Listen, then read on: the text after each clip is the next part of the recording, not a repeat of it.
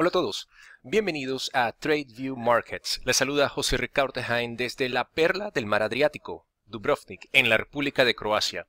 Hoy es martes 27 de febrero de 2018. Hay que recordar que todo el contenido de estos videos es de carácter educativo, por ende, no constituye asesoría financiera privada ni tampoco oferta de compra-venta de ninguna divisa. Empezamos.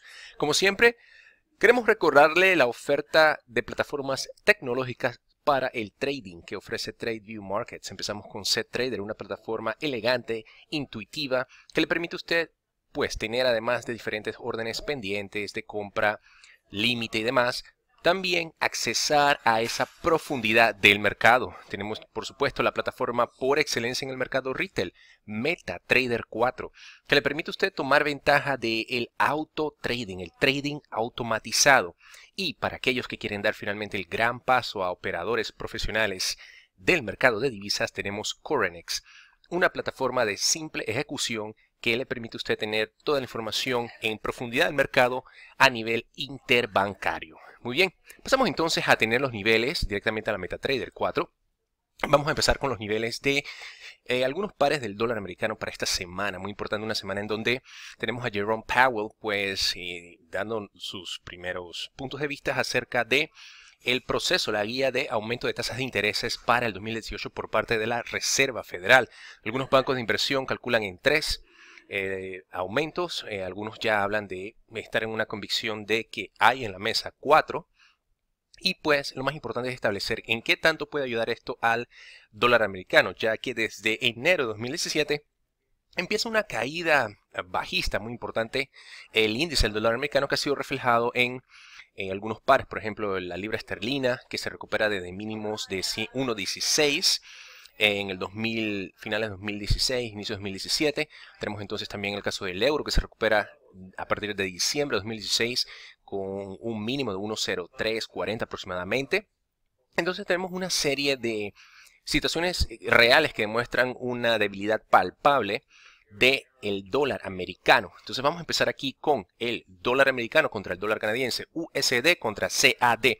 Estamos en gráfico semanal. Lo primero que vamos a establecer es la tendencia. Vamos a utilizar una media móvil de 50 periodos exponencial que la marcamos en color azul. Y como sabemos, precios cotizando por encima de la media móvil, buscamos compras. Precios cotizando por debajo de la media móvil, buscamos ventas, ir en corto. Muy bien, ahora, lo más importante es entender las dinámicas. Hay una situación muy importante que puede afectar este par. El dólar americano está número uno. Vamos a, si tengo aquí, vamos a hacer unas notas para tenerlas presentes. el dólar canadiense, tengo uno. Tenemos el tema del NAFTA. Este importante, el North American Fair Trade Agreement, que básicamente es la relación, disculpen, la relación de estos tres países, México, Canadá y Estados Unidos, aparte de lo que es eh, comercialización. Se, la, realmente Canadá y México no están muy positivos y esto puede ser lo que se esperaba hace, hace cuatro semanas en lo que se buscaba. Había un 50-50 probabilidad de que el presidente Donald Trump pues sacar a Estados Unidos de Norteamérica del NAFTA y eso es realmente positivo para el dólar americano. Eh, ha sido expresado en múltiples eh, medios que Estados Unidos pierde mucho de acuerdo a la perspectiva del presidente Trump en este tipo de acuerdo. Lo segundo que hay que tomar en cuenta son precios de el petróleo. Aquí. El precio del petróleo. Y sabemos que el petróleo está en este momento, del crudo, está en este momento en, como una fase, de una fase correctiva, desde sus máximos eh, por encima del 65. Entonces esto hay que tenerlo en cuenta, muy importante. Y por supuesto, medianamente, una recuperación del dólar americano. ¿Por qué no? Si esa recuperación en modo correctivo continúa, pues va a beneficiar entonces a este par al alza y esto puede continuar, la probabilidad está ahí.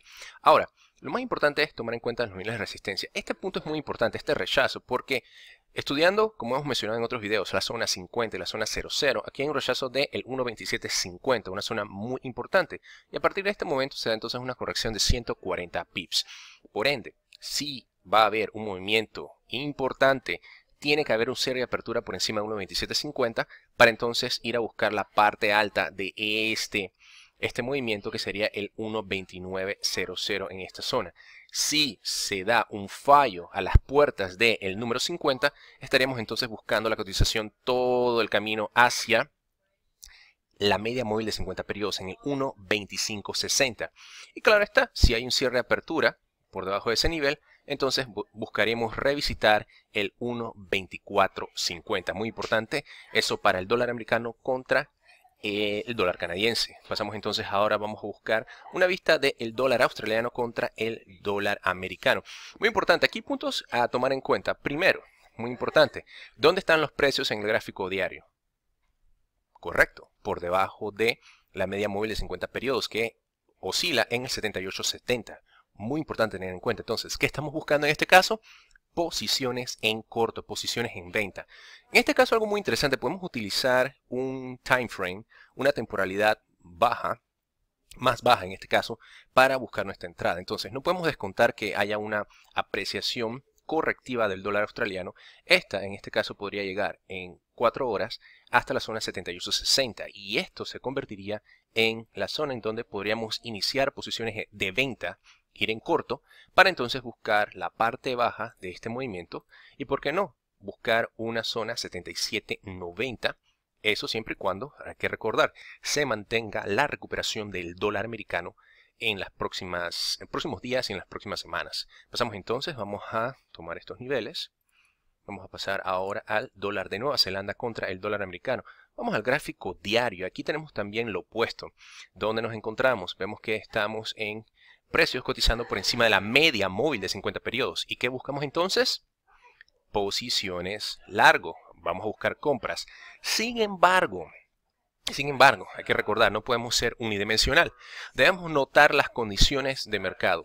Y esta semana, por el momento, se favorece una recuperación del dólar americano. Entonces, ¿qué debemos buscar?